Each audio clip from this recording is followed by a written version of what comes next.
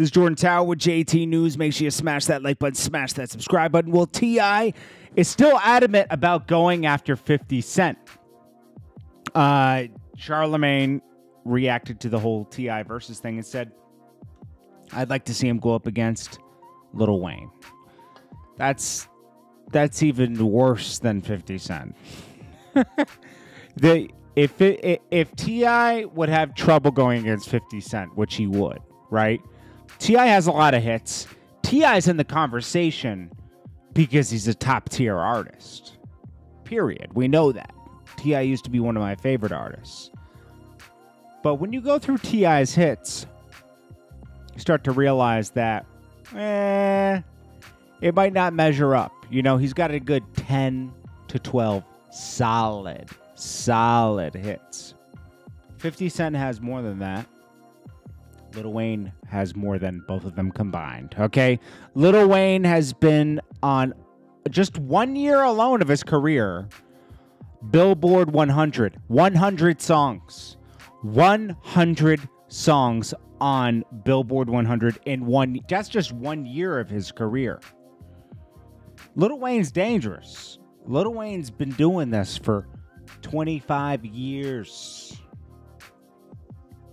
Been doing this for 25 years. He's been active for 24 of them, pretty much, you know? So come on, man. T.I. don't have doesn't have a chance against Little Wayne. T.I. and Jeezy need to go and get in Rumble before he can get out of Atlanta. Because honestly, the Gucci Mane and Jeezy one happened because they had beef in the past. But we know Jeezy's records are more commercial, commercially hit records than Gucci Mane's. Gucci Mane got his records. Gucci Mane's a legend. Gucci Mane put a lot of rappers on. Just that alone makes him the best out of Atlanta just because Gucci Mane put so many people on. He pushed Atlanta culture, Atlanta rap culture forward during that, that period right there from 2006 up until now. He pushes the culture forward, not just Atlanta, just rap period now because he signs rappers out of Atlanta. Pooh Shiesty, uh, he helps Big 30 get bigger. He helps a lot of rappers, man.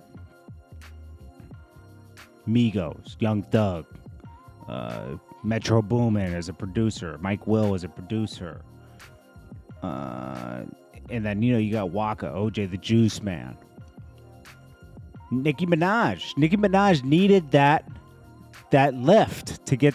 See, she was already with Wayne pretty much. You know, like she had met Wayne in 2007, eight in the studio, but Wayne wasn't sure about signing her until Gucci got turned her up another level past the DVDs.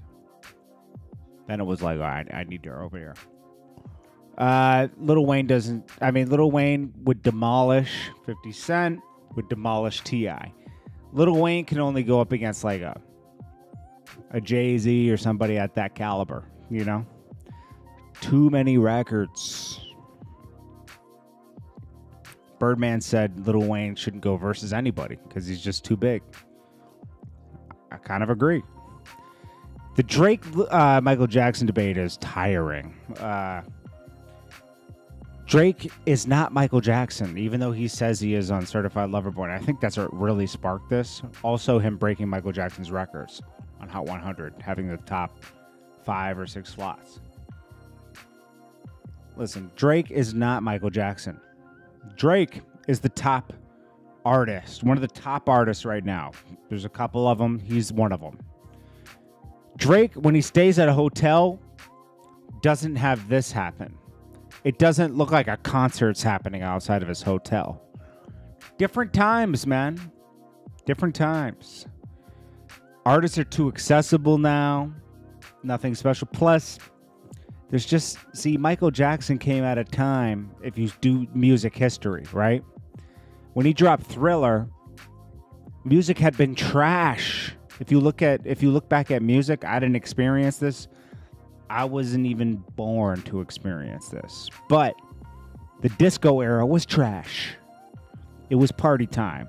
It was time for drugs, clubs, and a lot of weird stuff was going on back then. Okay. The music wasn't so great. There was like singles. There wasn't a great body of work. Michael Jackson dropped a great body of work and kind of saved music when he dropped Thriller. So a lot of people were attached to him for the next 20 years that, during that era, you know? And look, you know, yeah, Michael Jackson's just like amazing, bro. You know what I mean? It's Michael Jackson. You're not going to just say that about Drake. You're not going to say it's Drake, you know? It's just it's different. You can't even put words to it. It's so different. Drake is not Michael Jackson. he's he's done a lot though. He's accomplished a lot. This is Jordan Tower with JT News. Peace.